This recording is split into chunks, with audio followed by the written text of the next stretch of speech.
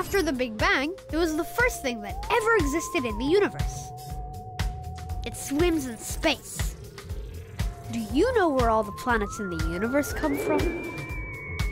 The horns glow as a warning to any spaceships in the area, just before the galactic salmon.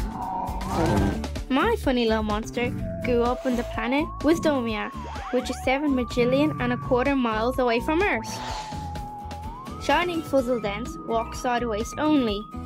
They have a huge appetite for learning things.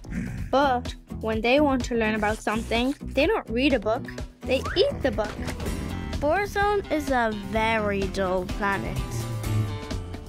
But pranksters are definitely not dull. They like to bring a little fun and mischief into the world.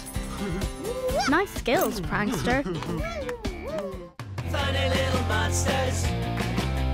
Funny little monsters. They could be tall or small, furry or hairy.